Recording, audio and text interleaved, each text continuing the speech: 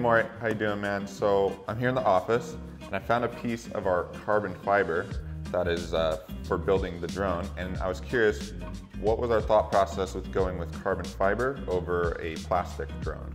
So the short answer is that it's much stronger, uh, and up to 90 times uh, the strength of like plastics. So considerably stronger material.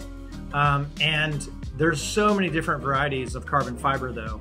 Uh, we chose 3K tow, uh, a 2x2 twill, which is basically one of the lighter formulas for carbon fiber that's because it's all strength to weight ratio. So we wanted the strength, but of course you can get, we have 3K twill, you can get 12K twill uh, and that is much stronger, but of course much heavier.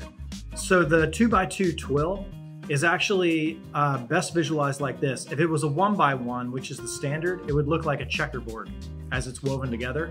The two by two twill looks like a herringbone uh, shape. Yeah, and you have a section of it right there. That's perfect. And so the benefit of that and the reason we chose it is because if you have that checkerboard pattern, it doesn't like to wrap around round surfaces.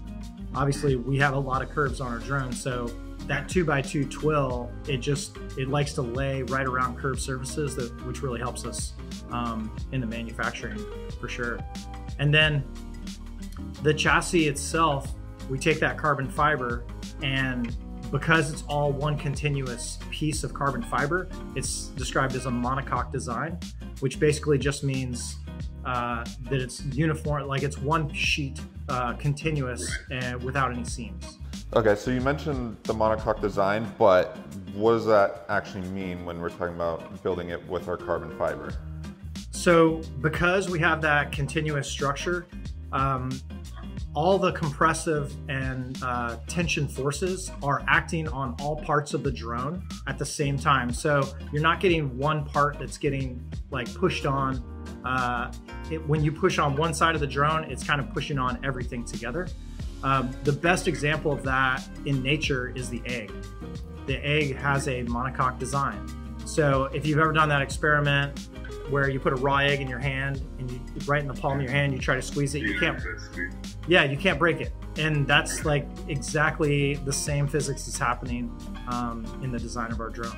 I appreciate you stopping by, Maury, giving us a little insight into uh, what the drone is actually made out of, and uh, I'll talk to you later, man. All right, see ya.